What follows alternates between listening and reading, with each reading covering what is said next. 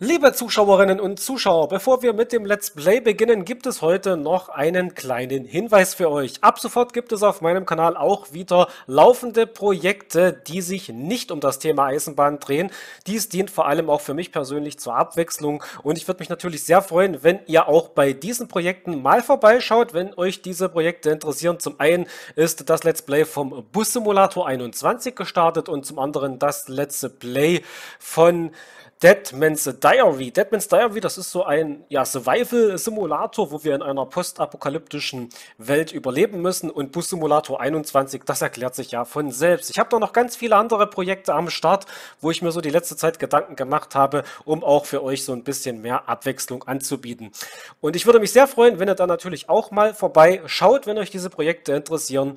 Und jetzt geht's mit dem eigentlichen Let's Play los. Wir sind wieder zurück in Train Sim World World 3. Und machen heute eine Fahrt mit dem Nightjet. Zum einen mit dem Nightjet 490 und dem Nightjet 40420. Der 490 kommt aus Wien und der andere aus Innsbruck. Beide haben das Ziel Hamburg-Altona. Fahren Sie diesen Nachtautozug von Würzburg nach Kassel-Wilhelmshöhe. Unsere Lokomotive ist die DB Baureihe 101, 701,8 Tonnen Zuggewicht, 17 Einheiten im Zugverband und eine Zuglänge von 374,4 Meter. Ja, dann dann würde ich sagen, hinein ins Vergnügen. Also, wir haben hier unsere Baureihe 101, die wir heute fahren. Die muss aber erst einmal hier in Würzeburg aufgerüstet werden. So, jetzt müssen wir erstmal den Richtungswender dafür einstecken, um dann hier die Türen freizugeben. Wir müssen natürlich aber auch erstmal den Führerschlüssel, den Bremsschlüssel aufschließen. Dann geben wir die Türen auf der rechten Seite frei. Und wir sollen um 2.50 Uhr, also wir sind mitten in der Nacht am sehr, sehr frühen Morgen unterwegs, um 2.50 Uhr dann hier starten.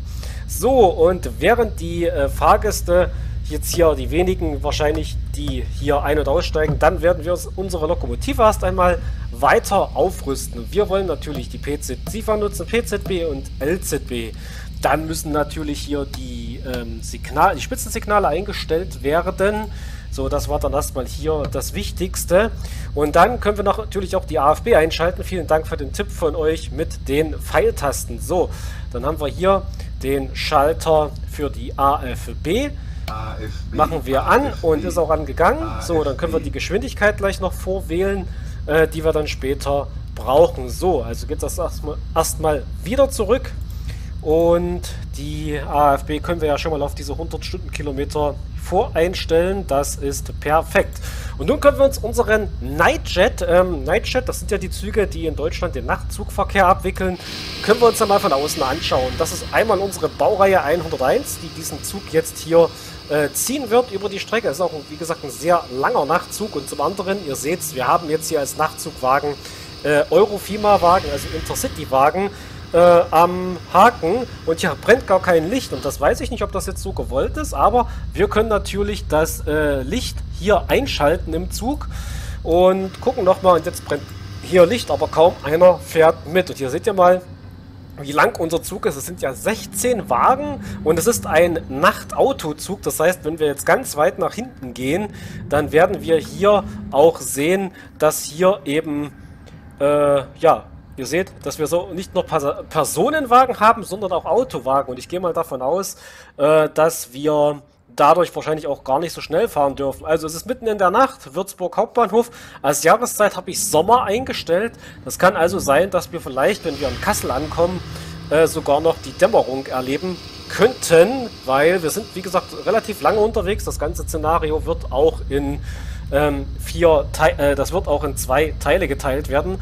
Wir sollen um 4.12 Uhr nämlich erst ankommen, also es ist über eine Stunde Fahrzeit. Das heißt, wir dürfen offenbar auch nicht so schnell einfahren oder hier nicht so schnell, ähm, ja, also nicht so schnell unterwegs äh, sein, ist ja logisch mit den Güterwagen am Ende. Das kann sein, dass wir jetzt hier nur mit 120 oder 140 unterwegs sind.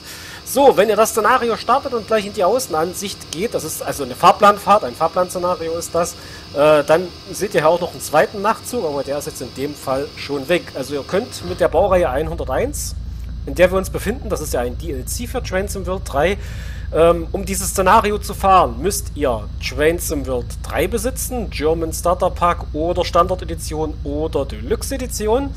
denn da ist nämlich diese Strecke Kassel-Würzburg dabei. Weiterhin müsst ihr noch die Strecke Hauptstrecke Rhein-Ruhr besitzen und das DLC Baureihe 101. Warum muss man die Strecke Rhein-Ruhr besitzen? Weil ganz einfach ähm, die Baureihe 101 eben äh, diese Strecke als Voraussetzung hat, warum auch immer. Eigentlich hatte ich mal gelesen, dass dieser Add-on-Zwang beseitigt werden soll. Hat man, macht man wahrscheinlich offenbar aber nur bei den neueren DLCs. Bei den älteren anscheinend wird das dann doch nicht nachträglich gemacht. So, jetzt müssen wir aber hier, das machen wir aus und machen das an. Und dann sind wir soweit, äh, ja, abfahrbereit, dass die Fahrgäste jetzt hier ein- und aussteigen können. Wie gesagt, ist auch nicht allzu viel los. Viele abgestellte Züge, die wir hier am Bahnhof von Würzburg sehen. Also viel, äh, oft hier die Baureihe 425, die ja überall abgestellt sind. Ist ja um die Zeit, ist ja so gut wie kein Personenverkehr, außer eben mal ein paar Nachtzüge. Ähm, mehr ist da einfach nicht los. So. Gucken. Hier ein schönes. Man hört das im Hintergrund, ist auch gerade Einsatzfahrzeuge unterwegs. So. Jetzt sind die Fahrgäste eingestiegen, wir sollen bis 2.50 Uhr warten. Ja, ich habe das hier mal ausprobiert. Hier scheint ein kleiner Bug zu sein, dass das nicht umspringt. Von daher verriegeln wir die Türen einfach und gucken, was passiert. Ähm, Im Übrigen, es gab ein Update an, in dieser Woche. Das war, glaube ich, Dienstag oder Mittwoch. Und da haben wir zum Beispiel diese Symbole jetzt dazu bekommen. Also die Hand ist das Zeichen Anhalten in Fulda. Und dann gibt es noch so einen Pfeil, wenn man irgendeinen Ort überfahren soll. So, Jetzt aber Bremse lösen. Ähm, AFB ist, glaube ich, eingestellt, soweit ich das erkennen kann. Und wir machen uns nun auf dem Weg in Richtung Kassel. So. Und ja, dann startet unser Zug. Und der wird natürlich jetzt ein bisschen brauchen, um erstmal hier auf Tempo zu kommen. So, also wir verlassen Würzburg um 2.50 Uhr in der Nacht ähm, dass diese Nachtzugfahrten, das wurde von vielen sehr positiv aufgenommen, obwohl, wenn das natürlich kein echter Nachtzug ist. Also natürlich, ähm, ein Nachtzug unterteilt sich ja in Schlafwagen, Liegewagen und äh, Sitzwagen. Gelegentlich ist vielleicht auch mal ein Bordrestaurant dabei, wobei das mittlerweile auch ähm, selten geworden ist. Aber äh, hier haben wir natürlich nur Sitzwagen und Eurofima-Wagen. Die Eurofima-Wagen sind allerdings in den Nachtzügen aber schon mit enthalten. Das kann schon mal wirklich sein, dass da ein Intercity-Wagen mal mit im Zugverband ist. Aber meistens äh, haben, die Nachtzüge eigentlich äh, Sitzwagen, die da eben entsprechend auch lackiert äh, sind. Aber trotzdem auf jeden Fall eine sehr schöne Idee, dieses Szenario. Ich würde mich natürlich freuen, wenn wir mal richtige Nachtzug, äh, bekommen könnten und hier seht mal, der Zug sah relativ leer aus, aber ganz viele Autos, also ein paar Fahrgäste haben wir schon. Und das ist richtig schön. Also das ist wieder eine sehr äh, gründliche äh, Recherche, auf die sich hier die Entwickler, ähm, also da können die Entwickler wirklich stolz drauf sein, denn da hat man wirklich sehr gründlich recherchiert. Es gibt insgesamt äh, zwei, also zwei Fahrten für den Nachtzug, einmal hin, einmal zurück. Ähm, dann gibt es, was gibt es denn da noch? Ähm, glaube ich, nochmal noch mal so einen ähnlichen Nachtzug, den man fahren kann, der dann aber als IC, also mit so einer 6000er oder 60.000er Nummer, das sind ja im Prinzip auch Nachtzüge, nur dass man die bis zu einem bestimmten Punkt noch als Intercity nutzen kann. Und ja, das ist auf jeden Fall ja, das, was wir hier so spielen können. So, es ist ein Fahrplanszenario, das heißt, ihr seht hier eben auch Züge, die eigentlich bei der Strecke nicht enthalten sind. Und müssen wir mal gucken, was uns hier so entgegenkommt. Wie gesagt, um diese Zeit maximal Güterverkehr, was uns hier auf der Strecke entgegenkommen wird. Und mal gucken, wie schnell wir jetzt letzten Endes wirklich fahren dürfen. Lassen wir den Zug hier nochmal vorbeisausen. Mitten in der Nacht der Mondschein. Könnte also ein nächster schöner Sommertag werden. Und ja, schauen wir doch mal. Oh, und jetzt haben wir dürfen also bis zu 160 mit dem Autotransportwagen 160. Das ist ja schon krass, dass wir da so schnell fahren dürfen. Das ist echt, das hätte ich jetzt nicht erwartet. So, jetzt machen wir erstmal hier das Fernlicht an. Und ja, brauchen jetzt eigentlich kaum noch etwas zu machen, weil ja eben alles die LZB hier für uns erledigt. Aber wie gesagt, sehr großzügige Fahrzeiten äh, haben wir. Wie gesagt, das Ganze soll knapp eine Stunde und... Ähm, oh Gott, wie lange war das? Eine Stunde? Acht? Stunde 18 Minuten oder sowas. Das ist wirklich ein sehr, sehr langes Szenario. Deswegen wird das natürlich auch in der Aufnahme geteilt werden. Vielleicht kann ich euch noch ein bisschen was von meiner Nachtzugfahrt äh, erzählen. Ich bin schon mal mit dem Nachtzug gefahren. Das war auch meine einzige äh, Fahrt äh, bis jetzt mit dem Nachtzug. Das war damals äh, im Sitzwagen und das waren diese früheren Intercity Night Züge. Das waren so Talgo-Zugverbände und mit dem bin ich mal im Jahr 2009 von München nach Berlin gefahren. Und ich kann mich noch daran erinnern, also die Sitze sehr bequem. Das war wirklich dann schon sowas wie, wie ein Ruhesessel. Und es war auch ruhig im Abteil und ich weiß, dass da sogar das Licht ausgemacht wurde. Also nachdem die Fahrkarten kontrolliert wurden, da wurde wirklich das größte Teil des Lichtes in dem Wagen oder in dem Zug eben auch ausgemacht. So, hier kommt uns ein Zug entgegen mit einer 155 und ein gemischter Güterzug. Den haben wir jetzt natürlich voll geblendet, den Kollegen. Und wir können noch mal einen Blick auf den Güterbahnhof Würzburg-Zell werfen, der sich direkt hier unter uns befindet. Wow, zahlreiche Güterwagen und Züge abgestellt sind. So, überrascht mich äh, selber, dass eben dieser Autozugwagen hier im PZ, äh, im LZB-Bereich bis zu 160 schnell fahren können. Hätte ich jetzt nicht mitgerechnet. So, jetzt müssen wir mal gucken. Aber nicht, dass wir jetzt hier den Radschlupf oder sowas hier aktiviert haben. Gut. So, sausen wir also in Richtung Fulda und im nächsten Video wird es dann weiter nach Kassel-Wilhelmshöhe gehen. Ja, also es ähm, bevor wir über die Nachtzüge reden oder weiter reden, also meine Nachtzuggeschichte, wie gesagt, ich habe es sehr bequem in Erinnerung. Und der Zug ist nicht die direkte Strecke gefahren. Also es gab damals die Schnellfahrstrecke ja noch gar nicht zwischen Nürnberg und Erfurt, aber der Zug war, hatte einen sehr, sehr großzügigen Fahrplan, also hatte recht wenige Halt. Es war, hatte auch Autowagen dabei, also der ist in München Ost gestartet. Ich bin am Hauptbahnhof dann zugestiegen. Und unterwegs halt waren dann Augsburg, Fürth, Halle, und dann Berlin, also mehrmals in Berlin, also erst Wannsee, logisch, um die Autos abzuladen. Und dann, äh, ich bin, glaube ich, bis zum Hauptbahnhof mitgefahren. Und äh, das war, ja, war mal ein interessantes Erlebnis, aber ich weiß, dass die Reise auch sehr lange gedauert hat. Ich glaube, Start war abends um 11 und Ankunft in Berlin war um 8 oder so gewesen, also schon relativ lange. Der ist auch nicht so schnell gefahren, zeitweise auf freier Strecke einfach auch mal nur gestanden. Aber ich konnte da nicht so viel schlafen. Also im Sitzwagen, Liegewagen und so habe ich nie ausprobiert. Aber im Sitzwagen, ja, dir fallen mal die Augen zu. Aber ich konnte nicht so. Also ich kann mich erinnern, dass ich da kaum geschlafen hatte. Ja, so viel mal zum Nachtzug. Aber zurück zu Trains in World 3. Also in dieser Woche, am Dienstag oder Mittwoch war das, gab es das zweite Post-Release-Update. Also das zweite Update seit dem offiziellen Release. Und das hat ja, wie gesagt, viele kleinere, äh, viel Bugfixes äh, behoben. Zum einen von den äh, Inhalten von Trains World 3, zum anderen eben zu den, von den drei neuen DLCs, äh, die es ja für das Spiel gibt. Und da ähm, wurden auch ein paar Sachen korrigiert, aber wie gesagt, es sind eben viele Kleinigkeiten, die jetzt hier mit drin waren, wie eben hier dieses mit diesen Symbolen, dass wir die Hand sehen, halt, Stopp, oder eben, wenn wir überfahren sind, so einen Pfeil jetzt sehen, das ist zum Beispiel äh, neu in dieses Spiel gekommen. Also äh, man hat da an vielen Ecken und Enden eben geschraubt. Auch die Funktion Spiel speichern, äh, die wurde auch nochmal nachgebessert. Ich weiß nicht, ob die jetzt perfekt funktioniert, also ich glaube es aber fast nicht. Aber äh, ich bin schon echt am überlegen, das in Fulda mal auszuprobieren, ob wir wirklich ähm, speichern können und dann, also das soll wohl funktionieren, aber ich habe da so eigene Erfahrung gemacht, dass da eben nicht jede Einstellung dann wieder geladen wird. Und so also, dass man zwar trotzdem weiterspielen könnte, aber irgendwie, ja, so, das nicht so hundertprozentig. Aber das ist eben auch lange her. Ich habe es jetzt hier in diesem Spiel noch nicht ausprobiert. So, ist unser Zug vorbei. Ja, interessante Mischung, ein Personenzug mit äh, Güterwagen. Ist auf jeden Fall eine tolle Sache.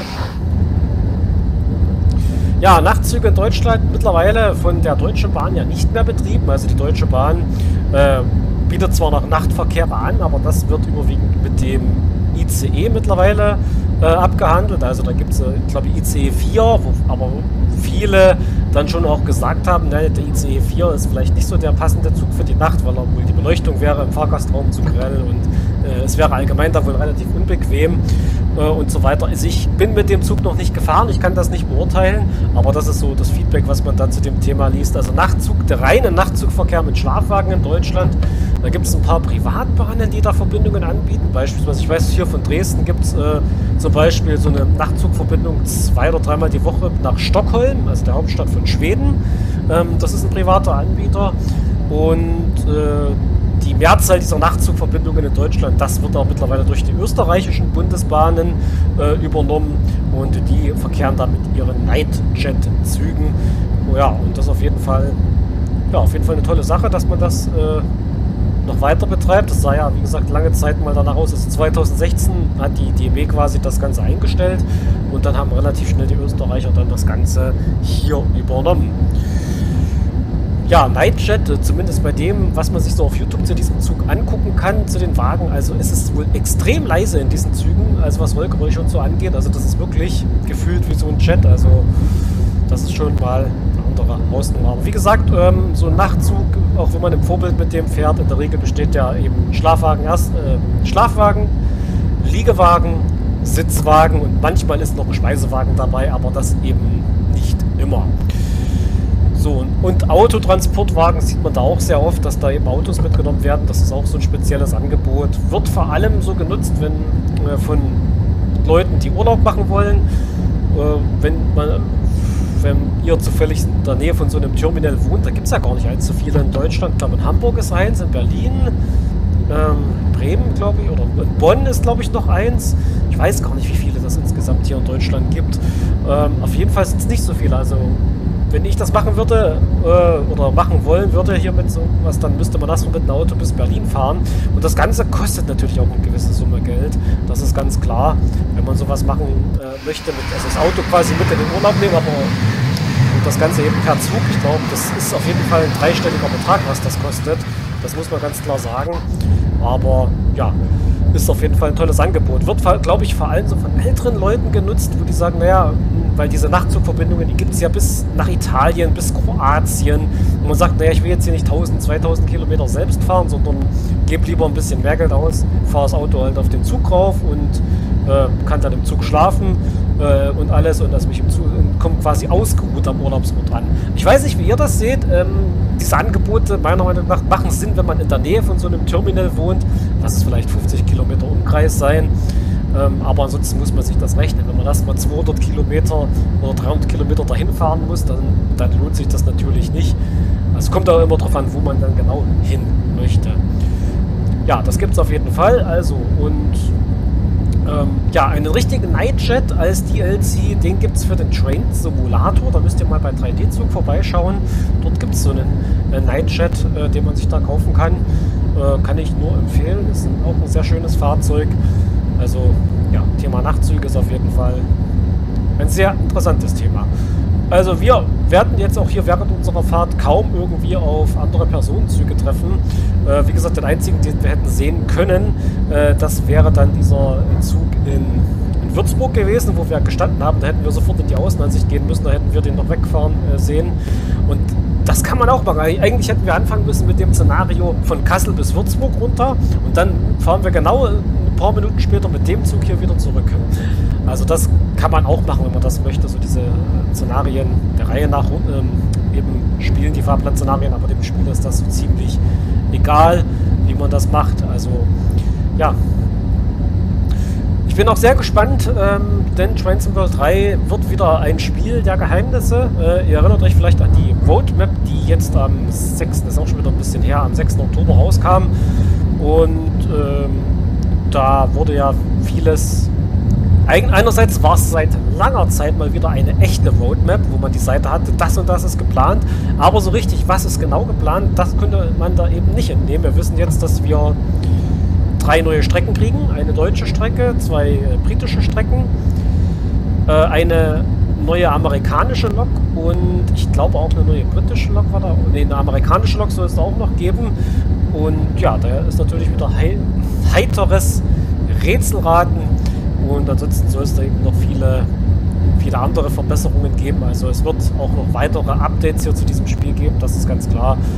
Und da müssen wir einfach mal abwarten, wohin das die Reise jetzt geht. So, also wir sausen jetzt hier geschmeidig mit unseren 100 159 Stundenkilometern in Richtung äh, Fulda. Wir haben etwa ein Viertel äh, der Strecke haben wir schon hinter uns. Also kommen hier, wenn die Bahn frei ist, kommt man auch ganz gut voran. Aber es ist halt die Frage, der Fahrplan ist ja wirklich sehr großzügig.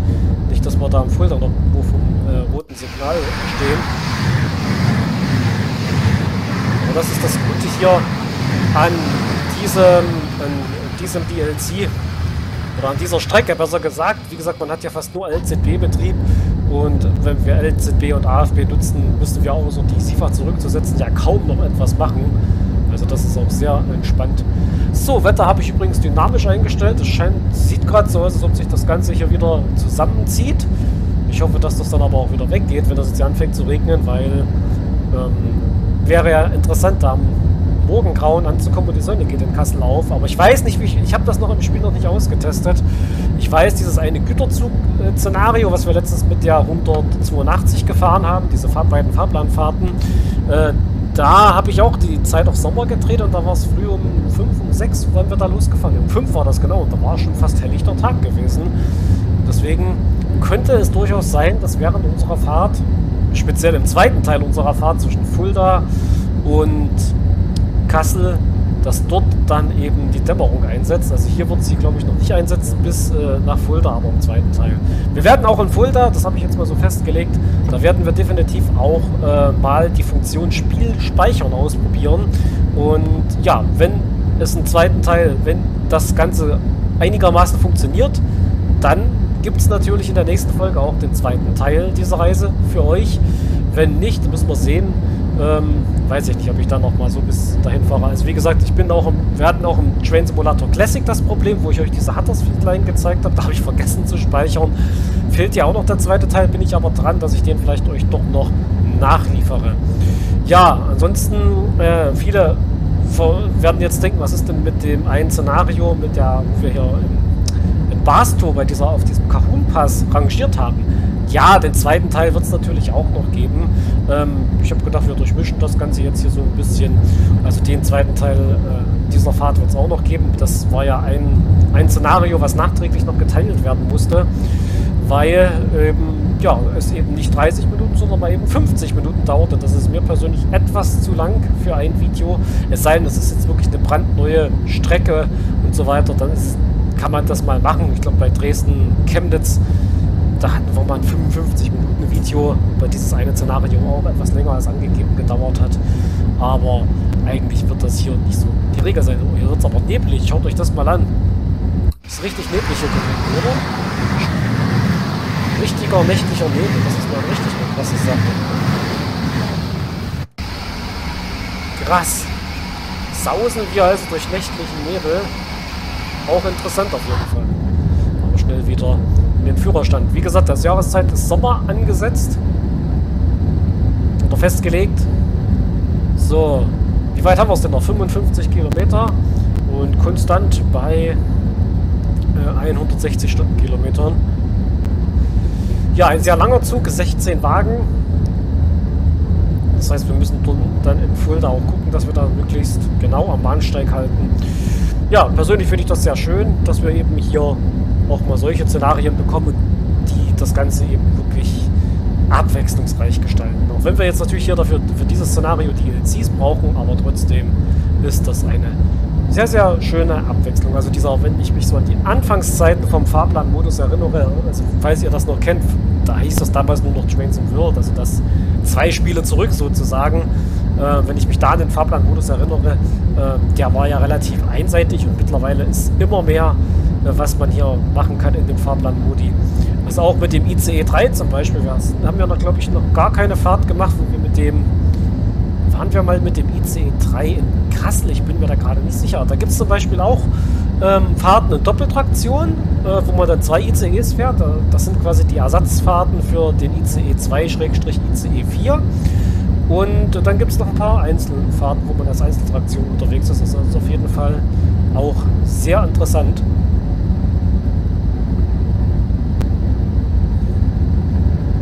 So, und ich bin wahnsinnig gespannt, was dann als nächstes für eine deutsche Strecke kommen könnte. Da gibt es ja einige, die haben von euch, die haben ja auch herausgefunden, äh, dass es äh, ähm, da hängt doch in Kassel am Bahnhof solche Streckenkarten, die man sich anschauen kann.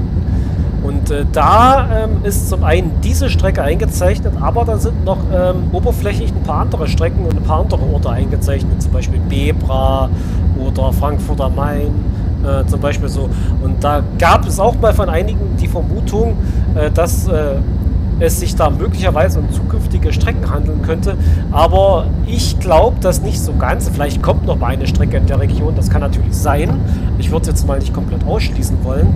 Aber grundsätzlich glaube ich das nicht. Ich glaube eher, dass diese Streckenkarten, dass dieses Streckennetz, was man dort hat, dass das eher als Orientierung äh, dient. Denn ihr müsst euch ja vorstellen, Trans World 3 wird äh, ja international verkauft und äh, Städte wie jetzt Würzburg, Fulda oder Kassel, äh, die sind vielleicht nicht jedem, der jetzt im Ausland lebt, wahrscheinlich vielleicht noch nie in Deutschland gewesen ist, die sind da nicht jedem unbedingt ein Begriff. Aber wenn ich da eine Karte zeichne und male dann etwas westlicher Frankfurt am Main, dann weiß derjenige etwa, in welcher Region sich das Ganze hier befindet. Wie gesagt, ähm, Kassel kennt man vielleicht noch, Fulda, Würzburg, ja, hat man vielleicht mal gehört, äh, weiß man jetzt auch meiner Meinung nach auch nicht unbedingt, äh, muss man jetzt nicht unbedingt die Regionen kennen, wo sich das befindet. Also deswegen denke ich mal, dass diese Streckenkarten dort eben nur als Orientierung dienen und keine zukünftigen Strecken ankündigen. So, dann sausen wir wieder durch den nächsten Tunnel. Irgendwann passieren wir, glaube ich, sogar hier den längsten Eisenbahntunnel, ich glaube mit 10 Kilometern, dieser Landrückentunnel. Ich weiß nicht, ob das. Ne, der ist es auf gar keinen Fall, aber der befindet sich jedenfalls hier auch auf dieser Strecke, auf diesem Abschnitt zwischen Würzburg und Fulda. So, hier kommt uns der nächste Zug entgegen. So. Ist nicht geschafft, das Licht abzublenden. Viele, viele Container. Das sieht man hier nachts sehr häufig auf dieser Strecke. Jetzt sind wir schon hier im Bereich Burg Burgsinn, müssten wir jetzt gerade hier sein. Also links von uns ist der Bahnhof Burgsinn. Erinnert euch vielleicht, sind wir letztens auch gewesen, wo wir mit dem Güterzug hier dieses spitze Zwischenstück gefahren sind.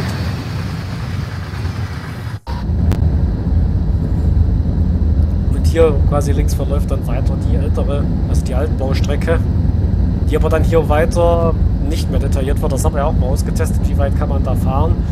Und es gibt aber auch die Möglichkeit, wie gesagt, eben bis nach Lohr oder bis nach Gemünden äh, zu fahren mit KI-RE-Zügen oder eben einem ICE.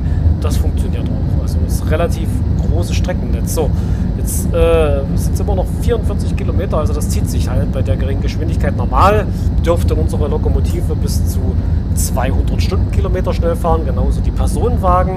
Aber aufgrund der Autowagen, die wir am Ende eben haben, äh, dürften wir hier nur 160 fahren. Das ist schon sehr schnell für die Autowagen. Wusste ich auch noch nicht, dass es Autotransportwagen gibt, die bis zu 160 äh, Stundenkilometer in der LZB fahren können. Ich kannte das bis jetzt nur mit 140 und niedrigeren Geschwindigkeiten. So, äh, Hälfte der Strecke haben wir übrigens schon hinter uns. So, hier setzen wir die Siefer wieder zurück. So, kommt hier der nächste. sah gerade so aus, so, jetzt aber wieder das Fernlicht an. Aber relativ viel Verkehr ja, mitten in der Nacht auf diesen Straßen. Und jetzt nach 3 Uhr.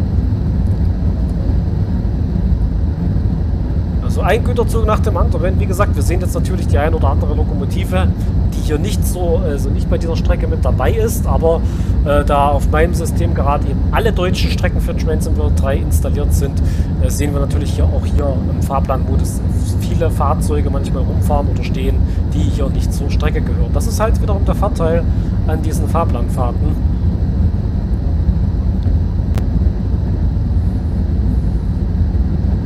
So, kamen uns also jetzt schon drei Züge hier entgegen. Geht's wieder über die nächste Brücke. Auch komisch, dass die Kamera immer rechts ist, wenn wir, wenn wir die nach außen präsentieren. Also das müsste ja eigentlich auch eher zufallsorientiert sein, aber das war auch schon in den Vorgängerspielen so. Ja, Baureihe 101, äh, die hat, glaube ich, im letzten Update auch nochmal ein kleines Update bekommen. Also das äh, bezüglich Fahrphysik wurde da, glaube ich, noch irgendwas gemacht. Und ja, ist auch eine Lok, soweit ich weiß, hat hier Entwickler TSG auch mitgewirkt und ähm, ist halt eine Lok, die sehr schön, also eine der besten Lokomotiven, die es für Transom World 3 aktuell gibt, eine der besten deutschen Lokomotiven. Ähm, ja. So, nächster Tunnel. Also es zieht sich dann halt eben auch hier ziemlich. So, 30, 38 Kilometer müssen wir noch fahren. Und lassen den Zug einfach mit 160 rollen. Ich weiß, dass es damals mal für den Microsoft Train Simulator, da gab es ja auch mal so eine äh, Berlin-Hamburg-Strecke. Da gab es zwei Versionen. Da gab es eben die neu eröffnete, wo man bis zu 230 fahren kann. Und dann gab es äh, einige Jahre vorher noch die alte Version dieser Strecke, wo eben die Geschwindigkeit auf 160 begrenzt wird. Da war das genauso. Da hast du äh, hinter Hamburg-Bergedorf auf 160 hochgeschalten, in Wittenberge mal kurz runter auf 100 und ansonsten wieder auf 160 und bist dann halt mit dem ICE eben da durchgerast. Kann ich mich auch noch dran erinnern. Ist aber wirklich schon sehr lange her. Da reden wir über Zeiträume. 2003 kamen die, glaube ich, raus.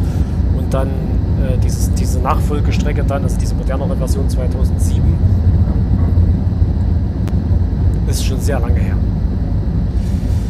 Ja, aber das waren so meine Anfänge mit den ganzen hier Eisenbahnspielen, Microsoft Train Simulator. Und habe ich, in diesem Spiel habe ich wirklich Stunden meiner Jugend verbracht. Gab damals auch sehr, sehr viele Add-ons, DLCs, lange Strecken, viele Züge mit drin. Dann gab es noch äh, den äh, Pro Train Perfect und Pro Train Perfect 2 kam dann irgendwann raus.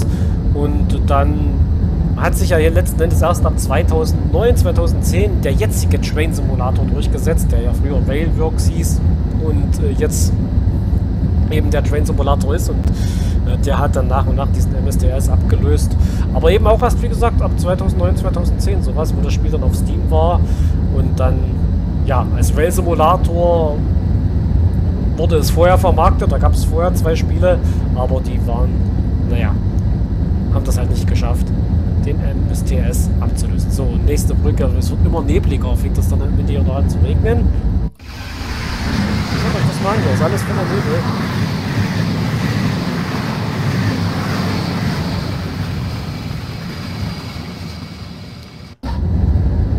So. Jetzt haben wir es noch 32 Kilometer zu fahren. Die Fahrt läuft sehr entspannt bis jetzt. Ja, gucken wir mal, dass wir dort wir pünktlich in, in Fulda ankommen. Ich kann das überhaupt nicht abschätzen mit der Fahrzeit. Auf jeden Fall halten wir uns an die Geschwindigkeiten.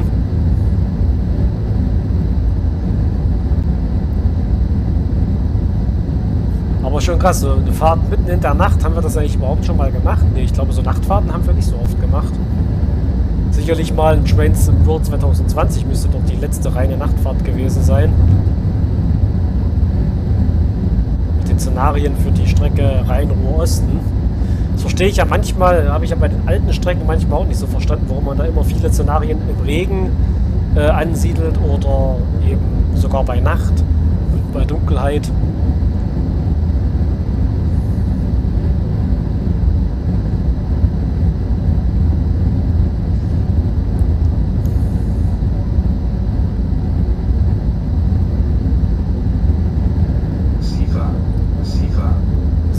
Ja, da wollte die SIFA wieder zurückgesetzt werden. Aber jetzt kommt uns erstmal wieder kein Zug entgegen.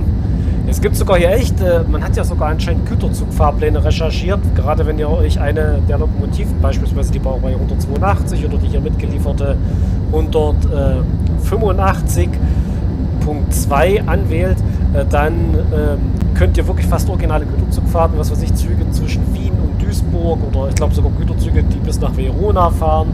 Also das ist auch sehr eine sehr, sehr gründliche Recherche, die da anscheinend betrieben wurde. Und diese Güterzugfahrten, die könnt ihr mit verschiedenen Loks machen. Also standardmäßig dabei ist hier, wie gesagt, die 182.5, äh, 185.2. Äh, Dann könnt ihr mit der 182 alle Versionen, also sowohl Dispo-Lok als auch MRCE oder DB, Güterzugfahrten machen. Dann mit der 187, die ja, also der Lokomotive, doch eine sehr, sehr für sehr viel Gesprächsstoff gesorgt hat. Dann mit der 155 könnt ihr hier unterwegs sein, also jede Menge Auswahl auf jeden Fall. So, 26 Kilometer sind es noch. Dann haben wir den ersten Abschnitt erstmal geschafft, abzufahren. Da muss man dann gucken, dass es dann im zweiten weitergeht. Wie gesagt, ich habe mir überlegt, was mache ich für euch Sonntag äh, für ein Video. Es ist ja Sonntag heute, wo, ich dann, wo das dann veröffentlicht wird. Und dachte ich mir, machen wir doch mal hier diese Nachtzugfahrt. Und jetzt wird ein Halt erwartet, weil wir anscheinend zu schnell sind. Das heißt, die Frage ist, dass noch bevor wir... Ja, anscheinend laufen wir jetzt quasi auf einen Güterzug auf. Oder irgendeinen Zug, der vor uns eben langsamer fährt. Jetzt, jetzt hier bremst uns nämlich schon die... Jetzt bremst uns nämlich schon hier gleich die LZB runter. Deswegen habe ich jetzt auch die, die Leistung hier weggenommen. Ja, irgendwas scheint hier zu sein.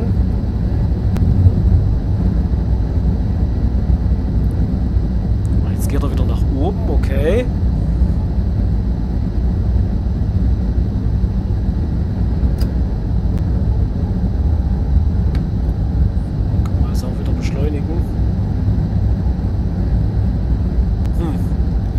Sehr komisch auf jeden Fall. Also er zeigt ja ganz klar Null an, aber wie weit ist das weg? Ist weniger als um die dreieinhalb Kilometer. Scheint das zu sein.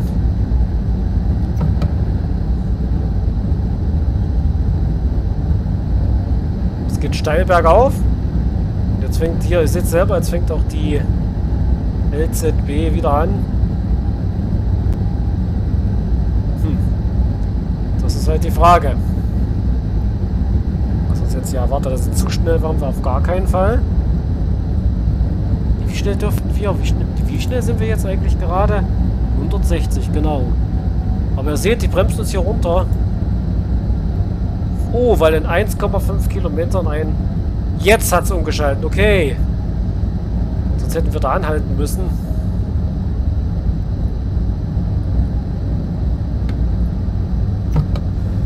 So, aber ihr seht, das System kümmert sich da ganz gut. Aber dann müssen wir jetzt natürlich durch den Tunnel schleichen. Das wird natürlich ein bisschen dauern, bis der wieder sein Tempo erreicht hat hier.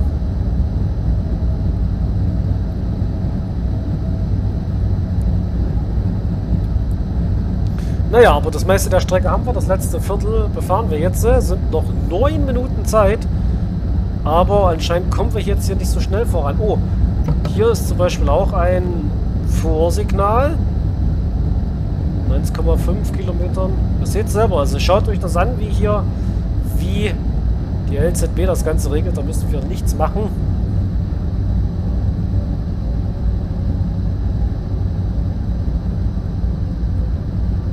Ja, Jetzt hat das, also wir haben definitiv einen langsameren Zug vor uns und deswegen wahrscheinlich auch so diese etwas längeren Fahrzeiten.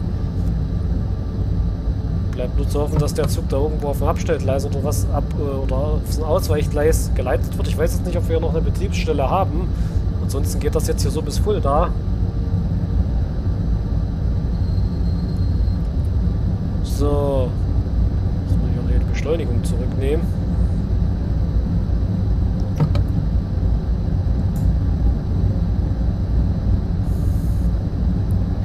Tja, auf jeden Fall, ich finde es sehr interessant, sowas. Und dann haben wir wieder das nächste anzeigende Signal. Also, wir fahren irgendeinem langsameren Zug hinterher.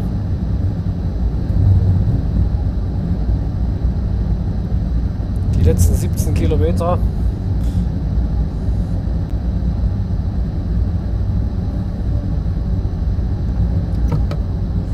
So. Das Zurücksitzen nicht vergessen.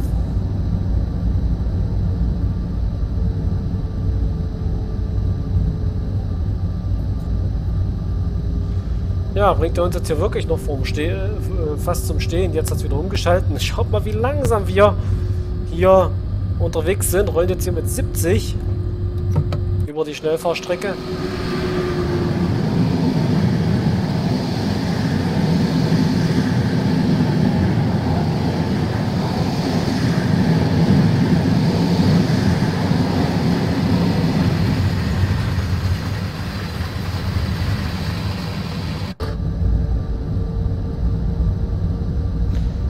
Da wird dann schon wieder das nächste halbzeigende Signal angezeigt. Ist schon krass, was uns jetzt hier so alles erwartet. Ja, 40 Minuten sind wir fast schon, sind wir wirklich fast schon, nee, das kann gar nicht sein. Sind wir wirklich fast schon 40 Minuten unterwegs? Kann doch gar nicht, nee. Nee, also da stimmt was mit dem Timer hier nicht. Oder? Ja, doch, könnte sein. So. Na, guck mal, also das wäre wirklich... Deswegen habe ich mich auch entschlossen, das Szenario zu teilen was dann einfach für eine einzelne Fahrt viel zu lang wäre.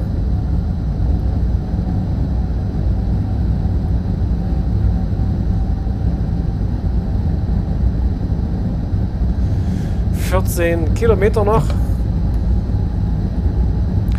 Ja, das hat natürlich die Frage, ob wir wirklich irgendwann mal Nachtzugwagen beispielsweise hier für den für Transom World 3 bekommen könnten.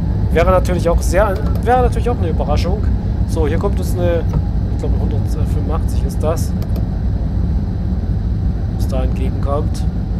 Hier, das nächste halt zeigt das Signal. Also es geht jetzt wahrscheinlich wirklich bis nach Fulda so.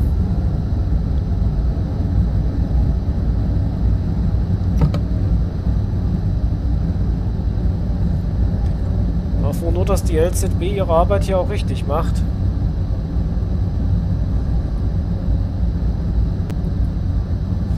Aber es geht schon wieder los. schon krass. Also da sind wir wirklich anscheinend auf irgendeinem Güterzug aufgelaufen.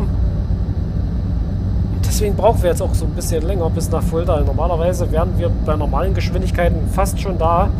So sind es aber noch diese besagten 12 Kilometer, die wir zurücklegen müssen.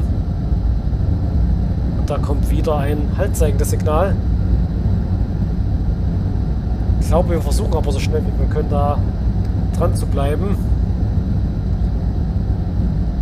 So, die Frage ist, ist das ein Personenzug, der vor uns fährt und äh, den wir bis Kassel vor der Nase haben oder ein Güterzug, der dann irgendwo auf die Seite geschoben wird? Könnte ja alles sein. So, schneller.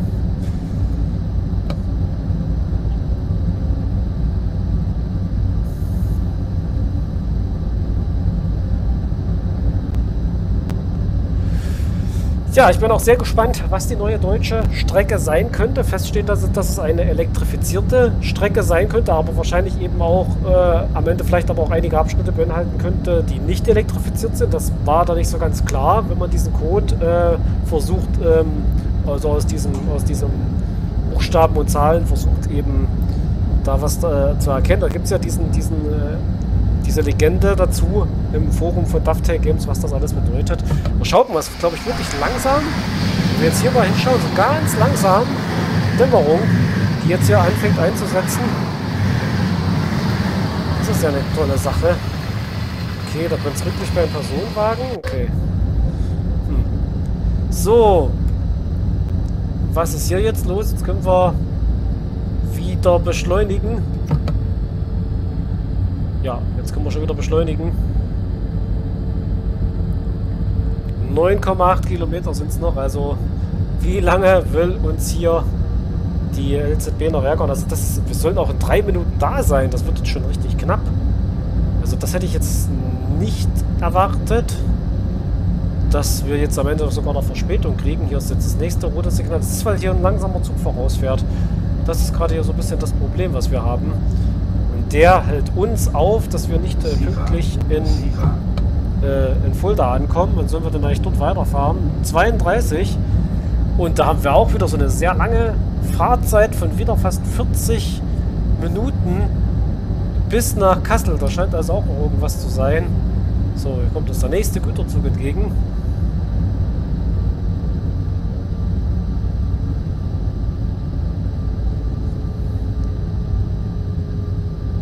Und wieder können wir etwas schneller fahren und in 3,5 Kilometern ist dann schon Geschwindigkeitsreduzierung auf 100 Stundenkilometer.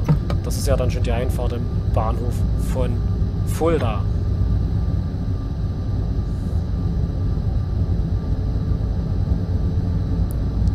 Aber das wird schwierig, das werden wir nicht mehr pünktlich schaffen. Einfach dadurch, weil der vorausfahrende Zug uns auffällt. Aber schaut, wir setzt tatsächlich jetzt schon gegen halb vier Sommer, na gut, das kann wirklich sein, gegen halb vier wirklich die Dämmerung ein. Deswegen habe ich auch das ausge deswegen habe ich das auch so ausgewählt. Dass wir wirklich auch bei Dämmerung so fahren können, dass wir ein bisschen Tageslicht dann vielleicht sogar noch zu sehen bekommen. So. Ja, ansonsten ähm, am gestrigen oder an diesem Wochenende bzw. Freitag war ja für viele Schülerinnen und Schüler in Sachsen vorerst der letzte Schultag. Die Herbstferien haben begonnen, zwei Wochen. Und falls da jemand dabei ist, der dem das betrifft oder eine, die davon betroffen ist, dann schreibt es mal in die Kommentare. Wie sind hier eure Pläne für die Herbstferien? Ich weiß, in anderen Bundesländern sind sie ja schon wieder vorbei. In Nordrhein-Westfalen zum Beispiel, da müssten sie jetzt schon wieder zu Ende sein. Ähm, aber Sachsen fängt jetzt erst an. Ich glaube, Bayern und so sind die noch ein bisschen später in den süddeutschen Bundesländern. So, jetzt, jetzt auf einmal geht der wieder hoch. Okay. Vier Kilometer, aber das werden wir nicht schaffen, in einer Minute in Fulda zu sein. Das schaffen wir nicht. Das geht nicht. So, genau. Da bremst er uns jetzt nämlich gleich wieder auf diese 140 runter. Und wir müssen aber auch dann aufpassen, ähm, rechtzeitig anzubremsen. So. Auf jeden Fall konnten wir jetzt vielleicht noch mal ein paar Sekunden rausholen, aber wir werden das Ganze nicht äh, pünktlich... Also wir werden das nicht pünktlich schaffen. Da müssten wir in wenigen Sekunden ankommen. Aber Nachtzüge, das muss man dazu sagen, Nachtzüge haben einen sehr großzügigen Fahrplan. Hier drüben, hier fährt gerade ein Zug der, von der Altbaustrecke auf die neue Strecke auf. Schaut mal. So. Jetzt nehmen wir das aber auch mal zurück. Jetzt müssen wir, oh, jetzt müssen wir wirklich langsam anfangen hier zu bremsen. Ja, jetzt müssen wir nämlich selber anfangen zu bremsen. In zwei Kilometern ist nämlich der Bahnhof. Nach 800 Metern fahren wir nur noch 100 km/h. So, und da erreichen wir Fulda. Die Dämmerung beginnt. Das dürfte dann sehr interessant werden. Hier in Richtung Kassel. Aber jetzt habe ich mich jetzt ich mich hier noch vertan. Und doch die LZB machen lassen sollen. Aber wie gesagt, es kommt auf die Sekunde auch nicht mehr an. 300 Metern ist 100 erlaubt. Gut. So, hier gilt jetzt die 100, die man maximal hier äh, durch den Bahnhof fahren darf. So, musst du uns jetzt aber nicht runterbremsen und da vorne hinter der Kurve liegt doch dann schon die Station Fulda. Genau. Und Einfahrt am Bahnsteig ja nur mit maximal 60 Stundenkilometer.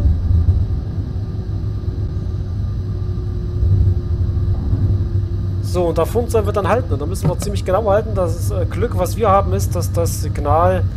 Ähm, schaut mal, wie genau wir halten müssen. Wir überlegen ja wirklich anscheinend den kompletten Bahnsteig. Das ist ja mal richtig krass. Weil hier geht es schon los.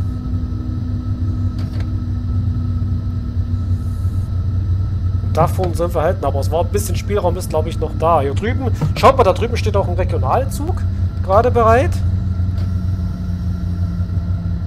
Das ist wahrscheinlich schon der erste Regionalzug in Richtung Frankfurt. So, also wie gesagt, wir kommen mit zwei Minuten etwa Verspätung an, aber da können wir nichts für, wenn uns hier ein vorausfahrender Zug aufhält. Äh, und das müssen wir auch noch bis davor schleichen. Aber das habe ich auch gerade ein bisschen verkehrt gemacht hier. So. Hier vorne sollen wir jetzt halten, okay. Damit ja wirklich der komplette Zug hier auch an den Bahnhof passt. Also Einfahrt hier in Fulda. Damit, ja, relativ lange Fahrzeit, die wir hier hatten. So. So, Fulda haben wir erreicht. Und damit entriegeln wir die Türen unserer Wagen. Und ja, ist halt die Frage. Ähm, ja, wir sind auf jeden Fall mit dem heutigen Video fertig. Und jetzt werden wir tatsächlich mal äh, probieren. Also das ist immer, das sollte man immer machen, wenn man schon speichert. Sind die entriegelt, die Türen? Ja, ja sind aufgegangen, okay.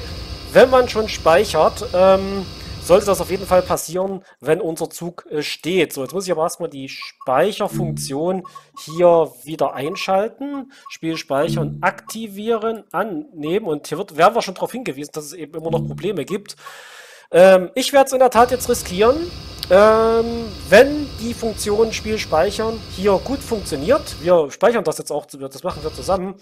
Ähm, wir speichern den Spielstand.